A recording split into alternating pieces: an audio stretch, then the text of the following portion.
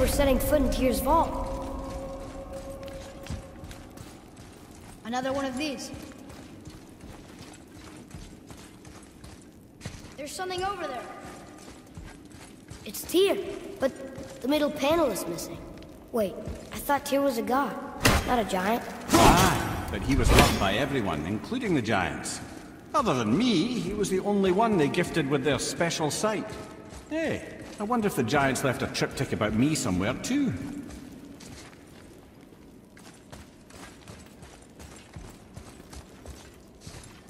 Go ahead. Actually, come look.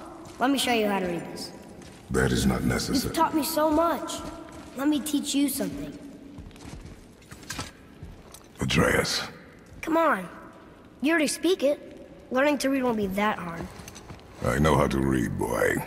Just not this tongue. You're halfway there already then. Okay, so the runes represent a lot of different things. Some gods, some animals. Wait. some- Oh, am I going too fast? Sorry. Not that. Do you smell something? Yeah, I do. Smells like... Rain? Ah!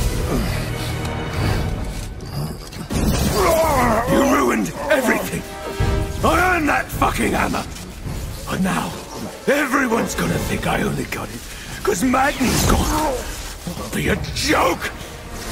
But if I kill you, no one's gonna laugh at me.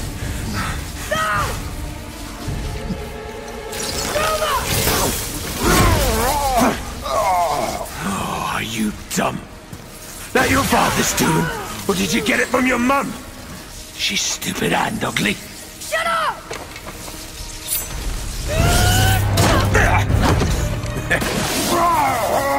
You don't know anything about my mother. Oh, it's true. But I'm gonna get to know you really well. You're gonna be my new brother. Right after I finish killing your father!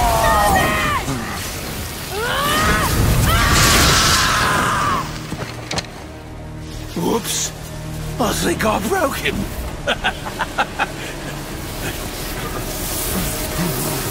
no. Stay back!